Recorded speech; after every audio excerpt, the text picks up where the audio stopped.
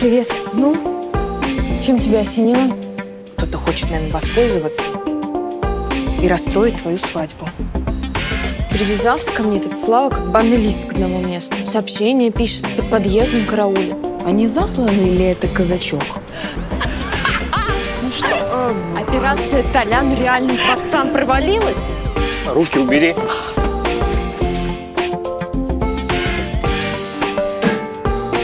Что теперь делать?